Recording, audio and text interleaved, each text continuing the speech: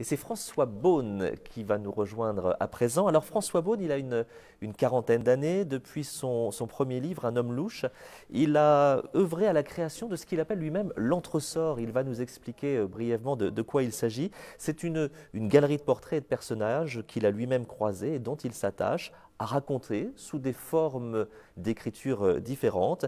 Euh, ces personnages, il y a eu notamment Un ange noir, Une vie de Gérard en Occident, et voici donc pour cette rentrée littéraire 2020, Calamity Gwen.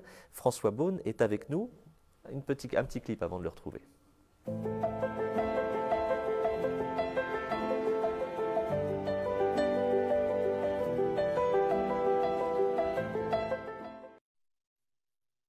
Merci beaucoup de votre présence. Calamity Gwen qui prend donc place dans une, dans une bibliographie dont vous allez nous parler, c'est l'entresort. Euh, justement, avant de parler de ce personnage de, de Gwen, c'est quoi l'entresort? Cette, cette œuvre Alors, que, vous, que vous construisez actuellement? C'est mon, mon livre idéal en fait. Je, à chaque fois que je cherche un titre de livre, je commence par dire ça devrait s'appeler l'entresort. Puis euh, je me suis rendu compte en fait que c'était l'ensemble de tous les livres qui étaient cet entresort. Un entresort, c'est une petite baraque foraine qui jouxtait le, les, les, cirques à la fin du 19e. Et ça s'appelle un entre-sort parce qu'on entre d'un côté, on paye ses 100 sous, et on va passer un temps d'intimité avec un monstre. Euh, un aval... Voilà, une femme à barbe, un, un avaleur, un avaleur de, de sabre, etc., un nain, un géant. Et puis ensuite, après ce temps d'intimité, qui est aussi le temps de la lecture, d'une certaine manière, on sort de l'autre côté, donc on entre et on sort, donc on a fait un, un chemin en intimité et en empathie avec quelqu'un. Et votre travail d'auteur, ce sont donc les rencontres que vous faites. Lorsque vous croisez le chemin de personnages euh, inédits, euh, ils deviennent les, les héros d'un livre, avec une écriture qui peut être parfois romanesque ou qui peut se rapprocher du, du documentaire? Oui, alors à chaque fois, il faut trouver le bon curseur et le style qui euh, va pouvoir porter la parole du personnage. Euh, chaque livre, donc je fais monter mes personnages, ma galerie de personnages que j'ai appelé l'entresort, mon ma comédie humaine un peu, euh, sauf que c'est bon, un projet en toute humilité, hein, je me prends pas pour Balzac, mais ce serait Rastignac qui, partirait, qui parlerait à la, à la, première personne. À chaque fois, on monte et on va passer ce temps de lecture, ce livre, dans l'intimité du personnage. Et, à chaque fois que je rencontre le personnage, que je choisis le personnage qui va être le modèle vivant du livre, eh bien, il faut que je trouve la bonne forme et, sa musique pour qu'on puisse vivre dans cette intimité avec lui. Alors on va parler de la musique de, votre écriture dans un instant, ce qui veut dire que Gwen, Calamity Gwen, elle existe bel et bien, c'est une jeune femme d'une trentaine d'années, elle vient du sud de la France, du côté de Marseille, Istres, par là où elle a encore sa, sa famille, elle est venue à Paris euh, parce qu'elle se rêve comédienne, elle est fan inconditionnelle d'Isabelle Huppert, euh, tout ne s'est pas forcément passé comme elle l'aurait souhaité, elle est euh, vendeuse dans un, dans un sex shop à Pigalle, et puis elle pose également pour, pour des peintres, et elle va nous raconter sa vie sur pratiquement un an sous la forme d'un journal intime. Alors qui est-elle, Gwen? Alors je, l'ai rencontrée il y a dix ans. J'ai eu la chance de la rencontrer à Marseille, euh, où j'habite maintenant depuis un moment. Et euh, euh, on, voilà, elle, elle m'a tout de suite, enfin, euh, elle m'a tout de suite beaucoup plu. Euh, on a eu une petite, euh, une petite histoire ensemble. Et puis ensuite, on s'est, on s'est conservé et on s'est vu beaucoup par amitié. J'avais le plaisir de l'entendre et de me qu'elle me racontait toutes ces histoires. Et donc, il y a 5-6 ans, je lui ai dit, écoute, c'est tellement incroyable ce que, tout ce que tu me racontes. Tu voudrais pas qu'on essaie de, commencer à les, enregistrer, donc de faire des entretiens, des interviews. Je te mets le micro, on parle comme, comme d'habitude, on boit un coup, tu me racontes tes histoires, on, passe ce moment. Elle m'a dit, d'accord, je ne sais pas trop ce que je vais faire de ça, hein, mais après le livre La Lune dans le puits, qui était ce recueil d'histoires vraies de Méditerranée, Méditerranée j'avais pris cette habitude d'enregistrer les gens, de les interviewer, et ce qui me sert maintenant beaucoup de matière première pour l'écriture. Que ce soit d'ailleurs du documentaire, de la non-fiction, ou euh, du, roman, euh, j'essaie de, partir de, de, des mots, de la musique des gens, et le fait de les réentendre, de les réécrire à partir d'enregistrements, ça me sert beaucoup. Ce, pardon, ce, matériau devient donc euh, l'outil que vous allez utiliser pour ce livre. Vous prenez le choix de l'écriture romanesque et vous choisissez même l'écriture d'un journal, puisqu'on va suivre Gwen pendant, euh, pendant un an. Et les, les, têtes de chapitres sont, sont assez euh, anecdotiques, hein, puisque septembre devient sextembre, février devient fiévreux, août devient le, le mois d'août, juillet devient le mois jouissé. Pourquoi, pourquoi ce clin d'œil? Parce que c'est révélateur de la personnalité de Gwen? Bah, Gwen, elle vient de Istres. Euh, elle vient euh, de voilà d'une classe populaire, euh, de, donc vraiment la banlieue extérieure à Marseille.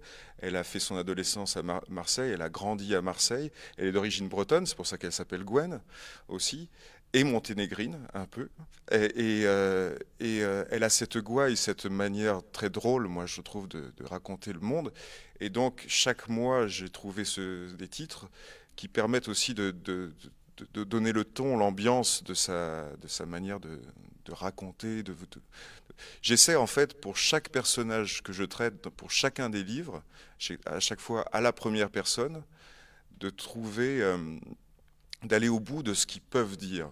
Euh, donc parfois il faut rester au, au niveau de la non-fiction et donc faire une sorte de montage de tout ce que les gens m'ont dit. Mais parfois, je pense, pour aller au bout du personnage, d'aller au bout de toutes ses observations, de toutes les expériences qu'il a pu vivre. Et donc, euh, c'est en ça que c'est un être unique qui va nous renseigner de son point de vue unique sur le monde. Eh bien, c'est là que le, roman, la littérature peut amener euh, des choses. Et en empathie avec le personnage, j'essaie de rentrer en lui et de lui faire dire tout ce qu'il a à dire sur le monde. Et c'est vraiment grâce à cet humour, grâce à cette gouaille et ce côté tragicomique de se raconter, euh, que, Gwen, elle arrive à dire euh, notre monde contemporain, je pense. Elle raconte notre monde contemporain, et puis elle se raconte aussi avec ses moments euh, d'euphorie, d'enthousiasme, et puis ses moments de doute et d'angoisse. Vous écrivez, en tout cas vous lui faites dire, je dois avoir un don pour me foutre dans la merde et particulièrement avec les mecs. Parfois on appelle ça l'effet connard, boomerang, l'effet connard boomerang avec Suze. Un connard remplace l'autre et l'effet est à peu près le même, ou sensiblement on va dire. Par exemple, il y a un mois, j'ai encore failli me faire envahir l'esprit par un petit con sans dimension, un sans-gêne, bien joueur, qu'on croit d'abord ultra sensible, mais qui est juste un petit baltringue de rien du tout qui se donne des airs. Parce qu'aussi, à travers le personnage de, de Gwen, c'est une vision de la place de la femme dans la société que, vous nous racontez. Elle travaille dans un sex shop, ce qui veut dire qu'il y a des, clients assez, assez surprenants. Et puis les, hommes ne sont pas tendres avec, avec Gwen. Oui, elle est pleine de contradictions aussi avec ça. Elle, c'est vraiment une figure de féministe. Hein, et même elle fait partie des Fémènes. Et, et, donc elle est très remontée. Et en même temps, elle se retrouve à travailler à Pigalle elle, une belle femme euh, très, voilà, très attirante, donc qui, est obligée aussi de vivre avec ce, désir euh, des hommes euh, en permanence qui, voilà, qui, est agressif dans, dans, ce cadre-là. Et voilà, elle essaie de trouver sa place, comme, nous tous d'ailleurs, on essaie tous de trouver notre petite place dans la société pour arriver à, vivre, à exister. Et là, elle est dans cette place qui est, inconfortable et en même temps, elle, arrive à, l'adorer, à, le détester, ce quartier de Pigalle. Et euh, c'est ce qu'il y a de beau chez elle, c'est toutes ces contradictions, c'est sa joie et sa détresse totale euh, qui alternent d'un jour à l'autre. C'est pour ça que c'était pas possible d'écrire ça autrement qu'à travers un journal intime. Euh, ce journal qu'elle tient sur un an, de septembre 2016 à septembre 2017, ça lui permet d'être contradictoire d'un passage à l'autre, et on la suit dans son cheminement de pensée, qui est à la fois incohérent et très cohérent, et qui nous, voilà, qui nous amène et nous étonne en permanence, je crois, enfin, je trouve. Et, c'est à la fois drôle et moi, je la trouve extrêmement émouvante. Moi, elle me touche énormément. C'est un personnage.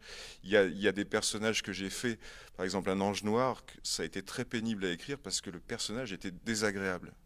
Mais là, euh, Gwen, et donc à partir du modèle vivant de, à partir du, qui s'appelle Rosen, je me suis inspiré de Rosen pour écrire Gwen, qui existe réellement. Et, euh, Euh, ce qui veut dire que vous écrivez à la première personne. Vous vous êtes mis dans, la peau de cette, de cette femme, Gwen, qui en réalité s'appelle Rosen. Vous y êtes allé euh, franco ou au contraire vous avez eu un, peu peur de, bah, trahir ce qu'elle est vraiment? La, vérité, c'est que c'est ma première héroïne. J'osais pas. Alors je me dis peut-être c'est la quarantaine finalement, la quarantaine, ça y est, je commence à comprendre comment les femmes, fonctionnent, mais je ne suis pas sûr. Mais je me suis fait beaucoup aider. J'ai la chance, j'ai eu deux éditrices pour euh, travailler euh, avec Véronique Ovaldé, avec Elisabeth Samama.